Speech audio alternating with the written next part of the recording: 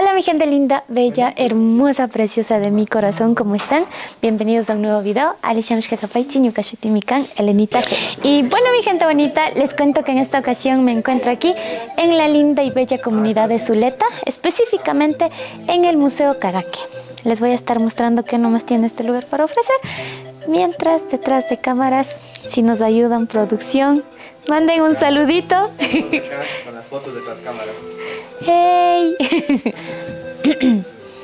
Acá está nuestro diablo.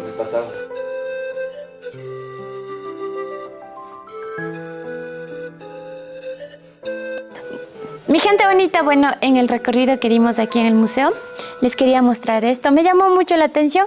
Este es un sombrerito que usan las mujercitas de aquí de Zuleta, pero no me lo van a creer. Un dato muy interesante es que me dijeron que es del año 62. Así es. Bueno, 61. 61, sí. Y que están igual intentando recuperar esta identidad, ¿no? Y pues, ¿qué dicen? Me queda. Y también aquí atrás tenemos una colección. Uf, magnífica. Don Amable nos estaba explicando que estos... ¿Cómo, cómo se les llama Sí, aquí? Los famosos pondos. Pondos. Sí. Aquí también se les llama pondos. Sí, sí, sí. Son, eh, todo esto perteneció a mi familia, seguramente estoy hablando de 300 a 400 años de antigüedad. Eh, cuando llegó la nueva era o la nueva la, la era moderna, prácticamente esto quedó en desuso. Antes todo esto estaba en uso y Para hacer chicha. para hacer chicha o para el agua. eh, Usted me dijo que había un pondito especial para el agua. Tenemos sí, aquí sí, en el sí, museo Aquí esos son, las tapaban. y- pondo ancho para... Sí, era fácil para llenarlo y después cogerlo y sacarle de ahí. Es como para decir para chicha. Exactamente. Pero si es para agua sería es- esta de aquí. Ah. Bo- Boca angosta, sí. Bueno, no, es- bueno, no podemos quitarle esto de aquí, pero ustedes pueden ver aquí que la boquita de este pondo es más angosto. Sí, puede ser. Sí puedo, ay, perdón, disculpe. Miren, entonces esto sí es un pondo especial para agua. ¿Ustedes sabían eso? Bueno, mi gente bonita, continuando con nuestro recorrido, les comento que me encontré con una adquisición de piedras de moler antiguas. Tenemos esta y esta de aquí. En la antigüedad se usaba para moler granitos, para sacar harina. Aquí pueden ver un poquito todavía de residuos. Yo me acuerdo que anteriormente mi papi me decía que para saber si una mujer puede casarse o no, primero les ponían a las mujeres a que se pongan a moler. No se coge así. La forma correcta es así, ¿no? Es así y tienen que moler. De igual manera también, bueno, yendo un poquito a la historia, a los hombres les ponían a- con el arado a ver si podían pues hacer los surcos en la, los guachos, perdón, en el terreno. Así que, mire, un dato curioso de aquí, de este museo.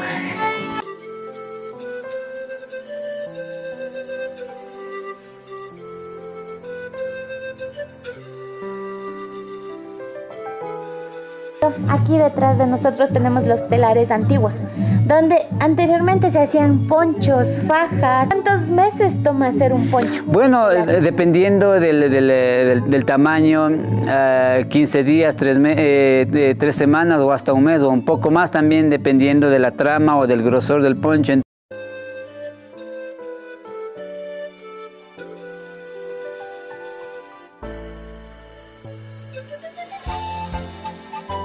Ya estamos en la era toda, todo actual y por eso incluso el mano, la mano de obra de las personitas que todavía hacen esto a mano, en realidad ha caído bastante el costo y pues sí deberíamos ir valorando mucho esto. Así es. Creo que esto ha sido como más un legado, ¿no? Sí, Como más que es un legado de Todo mis- lo que tienen es como una herencia. Sí, es de- que les han todo lo que ven aquí prácticamente estuvo alguna vez en uso eh, de nuestros padres, de nuestros abuelos y cuando llegó, como digo, la era eh, moderna, el, eh, esto quedó en desuso y estuvo algún, en algún momento abandonado. También hay algo que me llamó mucho la atención. Tal vez tiene algún significado o es algún familiar o antepasado de ustedes. Acá, acá, aquícito vi una... Sí, esta es la, Vi a alguien que nos dio la bienvenida. una representación de un entierro de nuestros antepasados, de los caranguis o carangues. Entonces ellos eh, a las personas influyentes o a las personas importantes enterraban en las famosas vasijas de barro. Entonces de ahí se inspira la canción de Yo quiero que a mí me entierren en una vasija de barro. Entonces cuando moría una persona importante enterraban con todas sus pertenencias porque ellos creían que había vida en el más allá y tenían mucha conexión con el cosmos con el universo y por esa razón es que todas pertenencias que eh, tenían de valor o muy importantes o significativas para ellas eran eh, puestos en, en los famosos pondos.